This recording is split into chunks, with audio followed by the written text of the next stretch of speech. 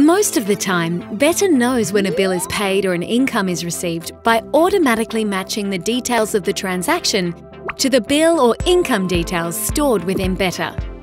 However, sometimes there isn't enough information for Better to confidently make a positive match.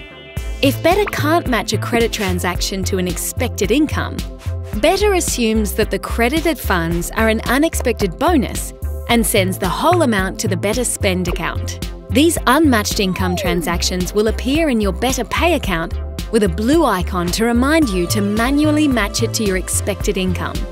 Simply tap on the unmatched transaction and follow the prompts to match it. Better will move what's needed from the Better Spend account back to the Better Pay account. The same goes for bills. Most of the time, when a bill has been paid, Better will automatically match the debit transaction to the expected bill. That way, Better knows the bill has been paid and it can stop holding funds to pay it.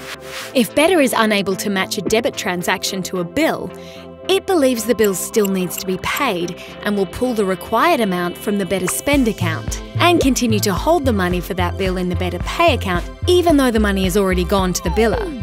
As with income, when Better is unable to match a bill, there will be an unmatched transaction on your pay screen to let you know.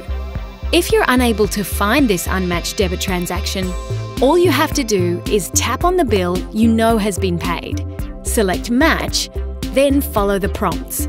Your manual matches help Better learn to automatically match those transactions next time they happen. Now that you know the importance of matching, it's time to learn how to set goals and turn dreams into reality.